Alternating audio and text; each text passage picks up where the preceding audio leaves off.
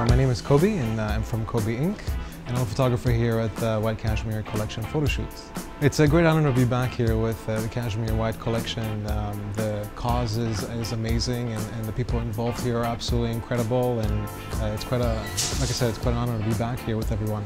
It's very difficult to compare this to other photoshoots I've done or even the last time that I worked with, uh, with the White Cashmere collection.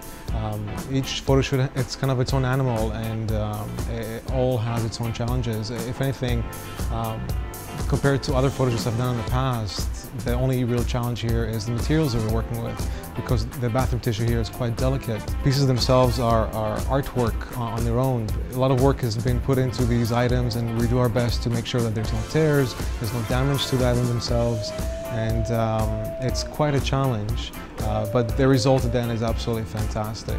So that's kind of the pleasure in the difficulty of working with this bathroom tissue. Trends play a huge part in, in what we do in every day. I mean, that's kind of like the, it's, it's a part of our industry and, and they play such a large role that every single thing that we do, we try to implement it into our work. And it comes from anywhere, whether it's trends from music or, or trends from theater or um, there's a lot of elements that come from our everyday experience that we try to implement it with what we do.